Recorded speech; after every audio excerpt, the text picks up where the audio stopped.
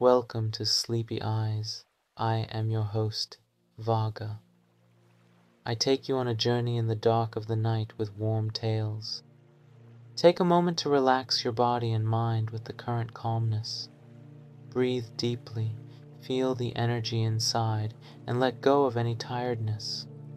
Put aside the past and focus on the peacefulness of the present moment. Recognize any tension in your body Allow it to fade away and unwind. Discover your inner peace and simply unwind in the tranquility of now. Before going to sleep, prepare to read a story comfortably in this peaceful setting. Let the magic of words captivate you as you get lost in a tale or story. With the warmth from this peace and relaxation, your sleep will become even more serene. Close your eyes Embark on a journey with a touch of words. Let each word guide you a bit deeper toward the essence of your inner peace. Now, relax and enjoy the pleasure of getting lost in the enchanting world of the story before drifting into sleep. The Wonderful Wizard of Oz by L. Frank Baum. Chapter 2 The Council with the Munchkins. She was awakened by a shock so sudden and severe that if Doro I had not been lying on the softy bed, she might have been hurt. J. As it was, the jar made her catch. J. Hab, breath and wonder what had lipened, and Toto put his cold little nose into her face and whined dismally. Dorothy sat up and noticed that the house was not moving, nor was it dark, for the bright sunshine came in at the window flooding the little room. She sprang from her bed and with Toto at her heels ran and opened the door. The little girl gave a cry of amazement and looked about her, her eyes growing bigger and bigger at the wonderful sight she saw. The cyclone had set the house down, very gently for a cyclone in the midst of a country of marvelous beauty. There were lovely patches of green sward all about, with stately trees bearing rich and luscious fruits. Banks of gorgeous flowers were on every hand, and birds with rare nine and brilliant plumage sang and fluttered in the trees and bushes.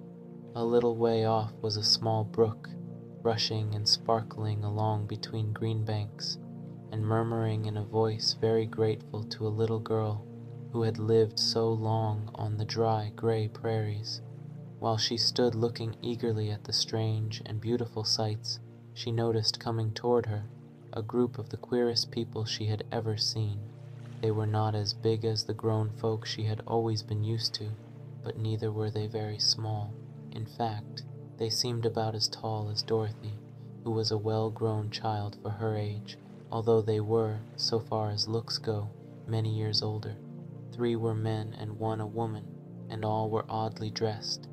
They wore round hats that rose to a small point a foot above their heads, with little bells around the brims that tinkled sweetly as they moved. The hats of the men were blue, the little woman's hat was white, and she wore a white gown that hung in plaits from her shoulders. Over it were sprinkled little stars that glistened in the sun like diamonds.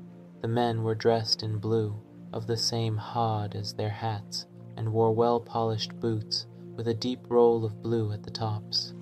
The men, Dorothy thought, were about as old as Uncle Henry, for two of them had beards, but the little woman was doubtless much older. Her face was covered with wrinkles, her hair was nearly white, and she walked rather stiffly. When these people drew near the house where Dorothy was standing, in the doorway, they paused and whispered among themselves, as if afraid to come farther but the little old woman walked up to Dorothy, made a low bow, and said in a sweet voice, You are welcome, most noble sorceress, to the land of the Munchkins. We are so grateful to you for having killed the wicked witch of the East and for setting our people free from bondage. Dorothy listened to this speech with wonder. What could the little woman possibly mean by calling her a sorceress and saying she had killed the wicked witch of the East. Dorothy was an innocent, harmless little girl who had been carried by a cyclone many miles from home, and she had never killed anything in all her life.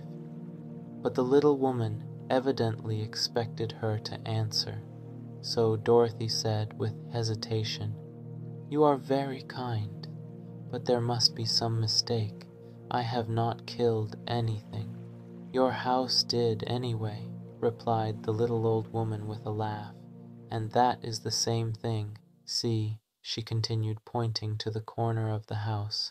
There are her two toes, still sticking out from under a block of wood. Dorothy looked and gave a little cry of fright. There, indeed, just under the corner of the great beam the how rested on, two feet were sticking out, shod in silver shoes with pointed toes. Oh dear, oh dear, cried Dorothy, clasping her hands together in dismay. The house must have fallen on her. Whatever shall we do? There is nothing to be done, said the little woman calmly. But who was she? asked Dorothy. She was Wicked Witch of the East, as I said, answered the little woman. She has held all the Munchkins in bondage for many years, making them slave for her night and day.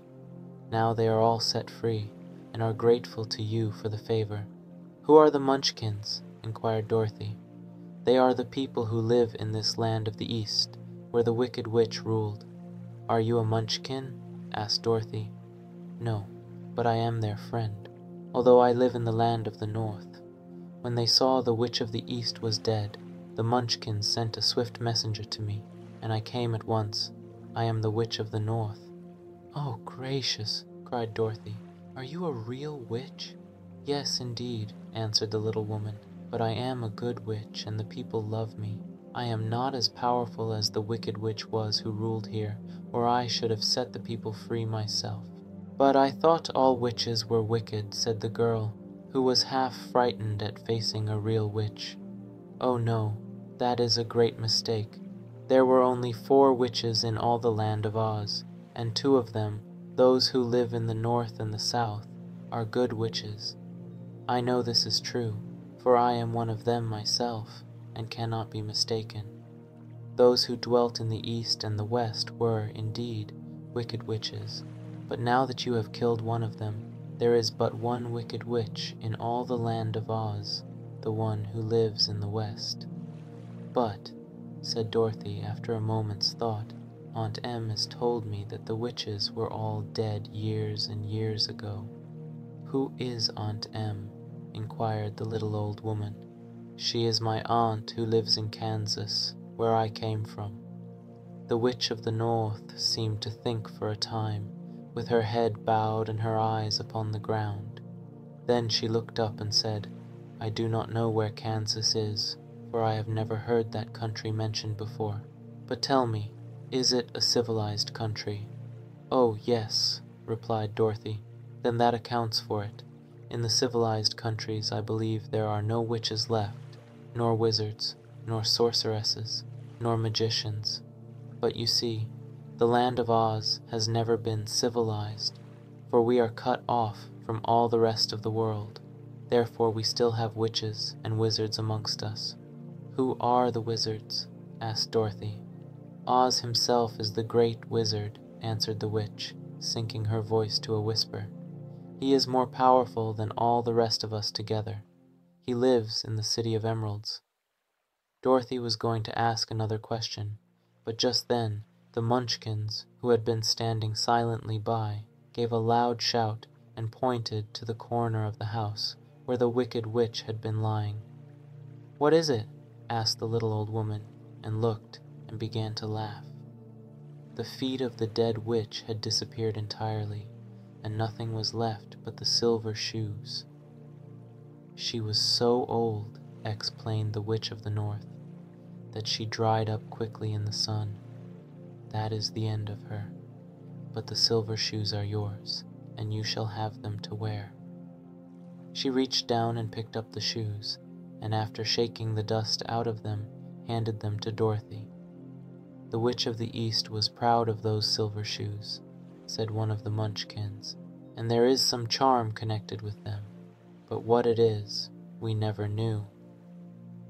Dorothy carried the shoes into the house and placed them on the table. Then she came out again to the Munchkins and said, I am anxious to get back to my aunt and uncle, for I am sure they will worry about me.